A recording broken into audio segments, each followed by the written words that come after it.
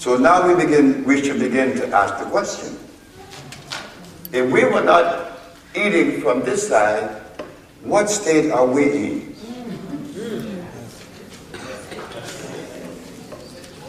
You see, this is why the little time that Lisa Lopes spent on the journey of healing, she went on the fast and she said that when she came from out of the fast, she said that the only giving should be compassion because she could see the deficit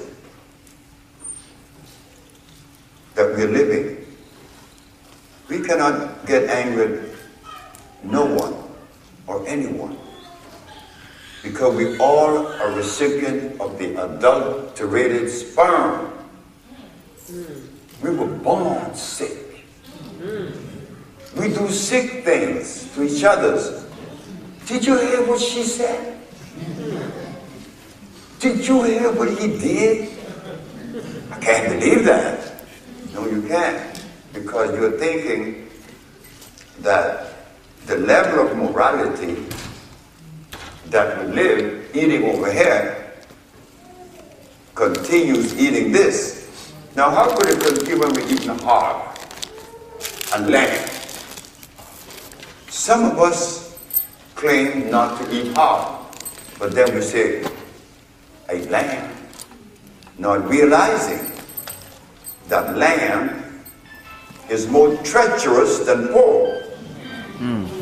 I asked my mother one day, I said, Mom, why is it that they have Jesus with a lamb in his arm? You see, does the lamb represent some righteous virtue, humbleness and meekness. This beast was made in the laboratory. God or nature didn't make any lamb.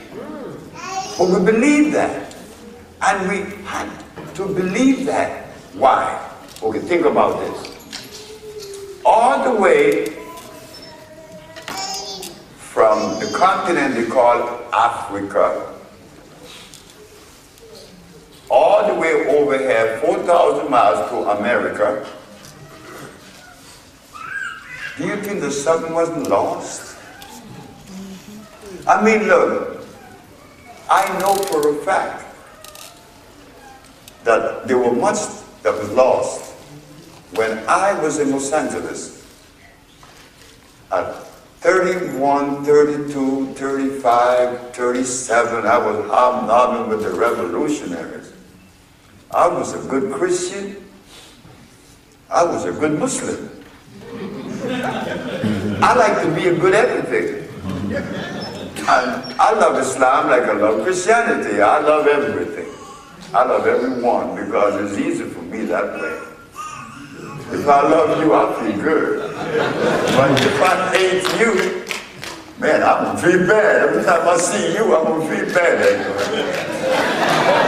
So I am not going to allow you to take my body into a state of such